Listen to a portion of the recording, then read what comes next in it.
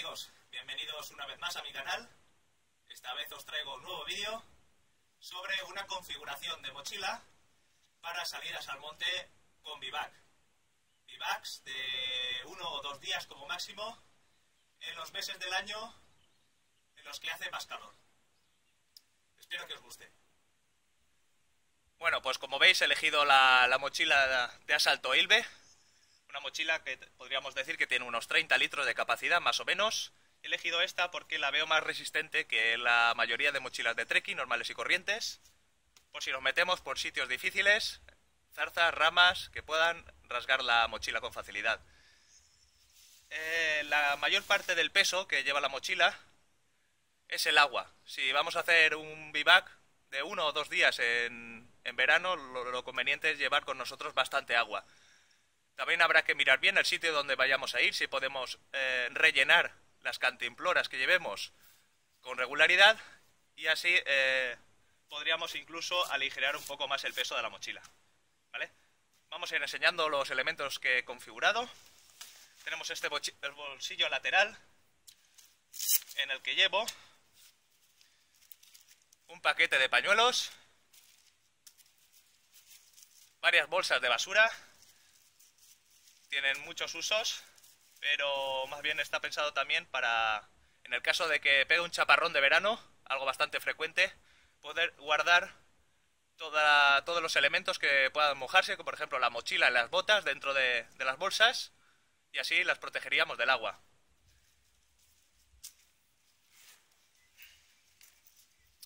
Un pequeño kit de costura y reparaciones, pues tenemos eh, hilo de coser, cinta aislante americana, superglue, un poco de todo. Una pequeña linterna de dinamo que funciona mediante dinamo y recarga solar del decalón. Repelente de mosquitos. Si vamos a pasar la noche en el monte, nos van a acribillar, acribillar los mosquitos. Más vale que vayamos preparados antes de ir y así nos evitamos molestias innecesarias una navaja multiusos, Victorinox.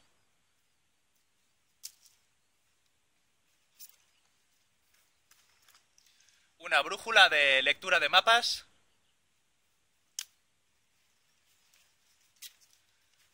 Cubiertos de campaña en acero inoxidable, pues llevamos cuchara, tenedor, sacacorchos, abrelatas, etcétera.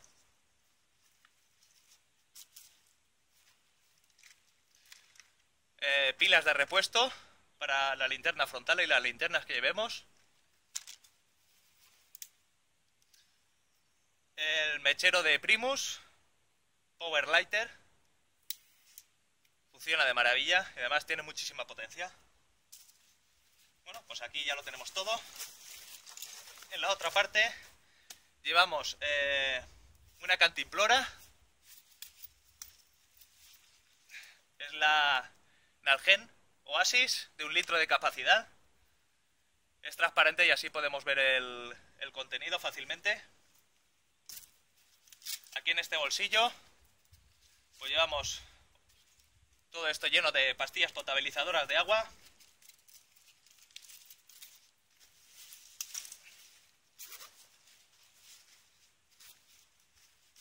Una buena gorra que no falte para protegernos del sol una madeja de cuerda de paracord, guantes mechanics para trabajos en los que vayamos a coger ramas y todo eso,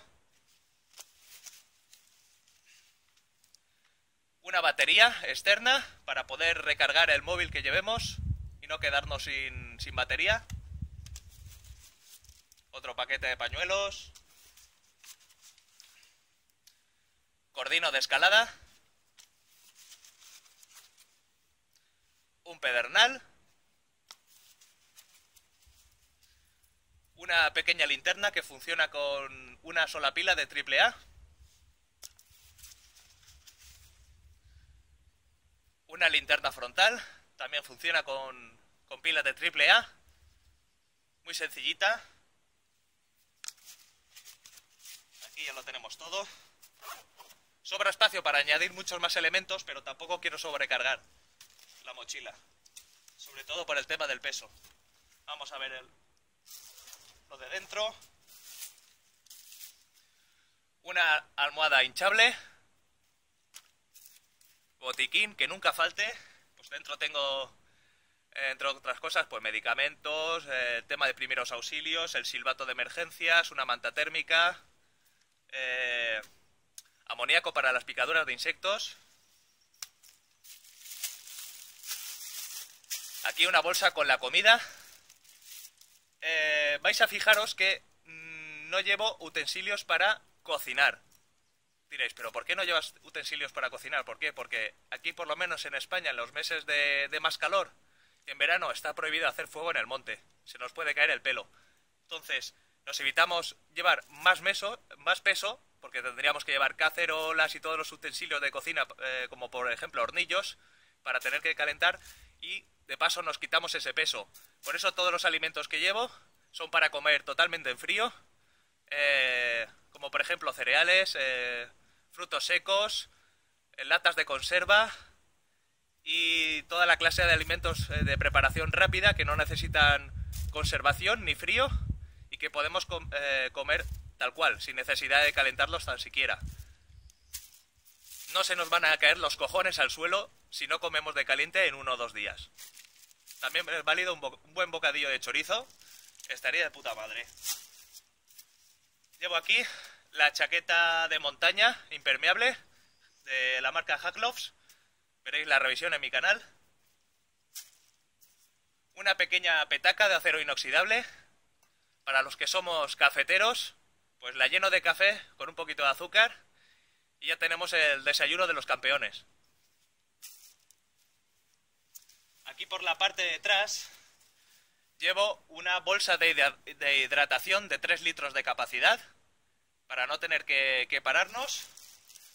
Aquí vemos el, el tubo para ir bebiendo agua por el camino.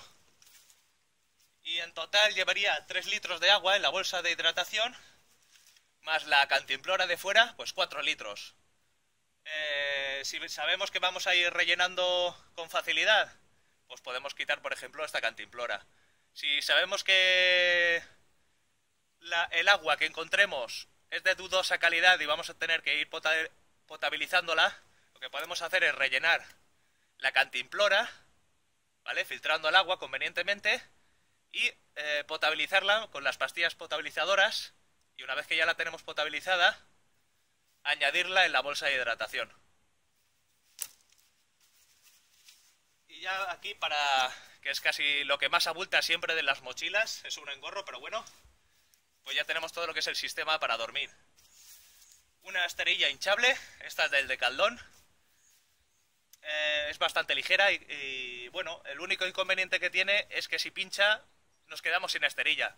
Pero bueno, eso lo podríamos arreglar utilizando, por ejemplo, eh, el kit de reparación, ¿vale? En el caso de que pinchemos, pero habrá que tener un poquito de cuidado, ¿vale?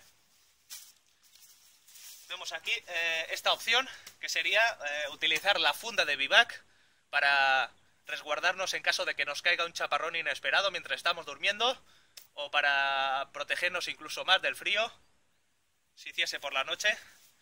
Se podría utilizar o la funda, de vivac en meses de verano, o también podría utilizar un toldo y la hamaca. Serían dos, dos posibles opciones, ¿vale? Según veamos la climatología, si esperamos lluvias o no, o si queremos dormir de una manera o de otra, podemos ir combinándolo. Y ya por último, pues el saco Highlander Voyager Ultralight, que también hay una revisión en mi canal. Y con esto ya acabamos de ver toda la mochila. Algunos seguro que esperabais que llevase mucho más trastos. Eh, he de mencionar que el cuchillo y el kit de campo lo llevo siempre en el cinturón, por eso no lo he metido aquí en la mochila. Y bueno, no, no creo que haga, haga falta para una o dos noches fuera de casa llevar más trastos. ¿Se podría cambiar alguna cosa? Claro que sí. Pero para una o dos noches en el campo, a no ser que ya queramos ir de, de hotelito, yo creo que con esto vamos más, más que sobrados. Por lo menos en los meses de verano. Si fuera un vivac de, de más de dos días, de tres, cuatro, cinco, seis, de los que fuese, pues ya tendríamos que cargar con mucha más comida, obviamente, y más material, incluso más ropa. Eh, ya para el tema de meses de frío, ya pues mm, va a ser bastante complicado llevar una mochila de este tamaño con tan pocas, eh, tan pocas cosas, porque vamos a tener que llevar más volumen por el tema del saco de dormir, la ropa. Pero bueno, aprovechando que en verano no hace falta cargar con tanta ropa ni abrigo, pues aprovechamos para hacer un bivac lo más ligero posible. Bueno, espero que os haya gustado. Y si es así, le dais al me gusta. Si todavía no estáis suscritos al canal, os suscribís. Nos vemos en el siguiente vídeo. Hasta luego.